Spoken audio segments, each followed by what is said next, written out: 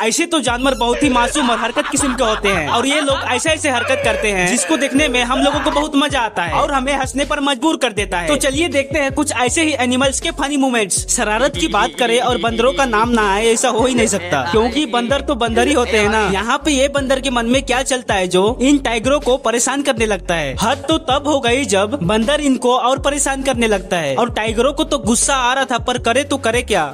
गुस्से से टाइगर भी बोल रहा होगा। एक बार नीचे उतरना बेटा फिर तोरा काम बतावती।